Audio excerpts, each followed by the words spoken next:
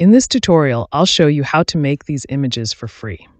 Go to any web browser you're using. For this video, I'm making use of Google Chrome web browser. Now, you're going to type in Microsoft Bing Image Creator and it's going to take you to this interface. Please guys, if you haven't watched my video on how to sign in to the uh, Microsoft, please i'll leave the link to that video in the description of this video go and watch that video so for those that don't know how to sign in to the microsoft watch the videos um, create your account then sign in. Use that account to sign into this sign into this microsoft bing. Then when you get to this interface what you are going to do you are going to see this box.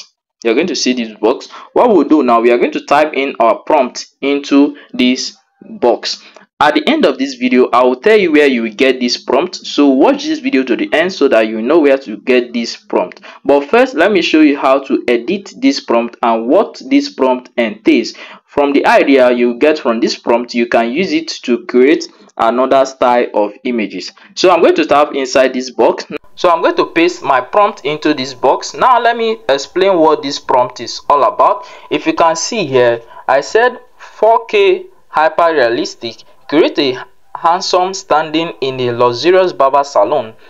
He is a handsome African American man and a barber cutting his customers' hair. This was Big Boy's haircut written on a banner above him. Okay, so this is the business name Big Boy's haircut. So you can change this business name and replace it with your own business name. Okay, then here I said handsome Afri uh, African American.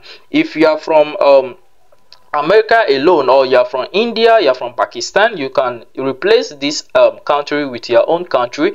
Then I sell luxurious barber salon, so you're going to leave that. So these are the things you will edit in, in this prompt if you want to customize it to your own taste okay when you're done editing what you will do is to tap on the create button that we have here i'm going to tap on that and allow this ai to create my image for me. Please guys if you are getting value from this video do not be stingy. Do not hesitate to like this video. Subscribe to this channel for more updates coming up on uh, uh, newer prompts. So you can see this um, image i've created. So let me tap on this.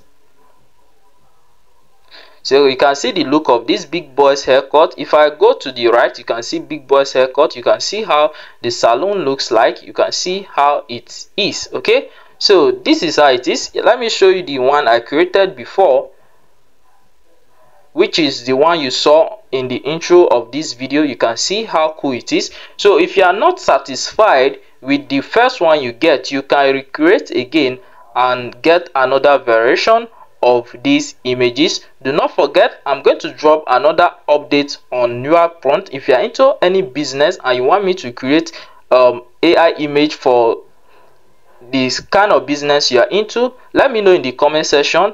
Drop the name of the business that you are doing and i will work on a prompt that will serve you. Thank you guys. I will see you in my next video